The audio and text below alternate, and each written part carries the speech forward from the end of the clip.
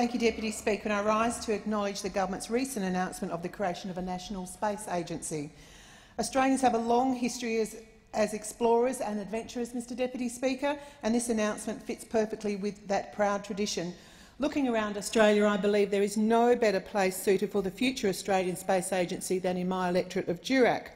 You would be hard-pressed to find any region in Australia with such a high concentration of satellite ground stations or with as much expertise in the field as is found in the Midwest.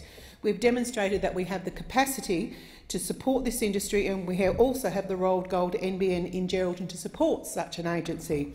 We also have the Square Kilometre Array project in the Murchison, which is a next-gen mega telescope. Within the Midwest, we have the Universal Space Network ground station, the European Space Agency Deep Space Earth Station, the Swedish Space Corporation ground station and the Australian Defence Space Communication Station.